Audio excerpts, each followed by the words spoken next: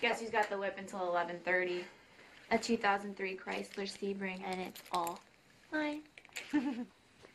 oh, hi, Chip. It smells like Thai food in here. Have you guys been fucking? You're gross. You're gross. You're gross. It's so gross. Fuck you. Let's go to the club.